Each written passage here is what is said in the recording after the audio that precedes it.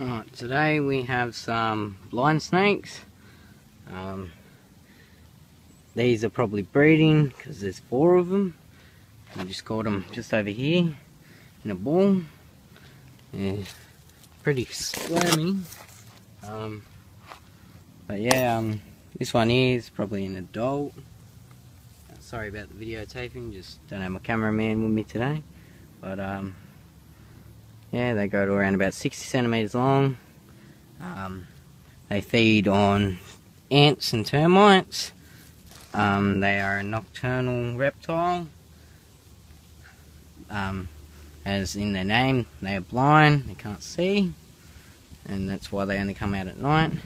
Their defense is this pointy tip right there, if you have a look, here. And they stick that and stab you with it, or jab you with it. Um, they will consume around about 1,000 termites in one feed.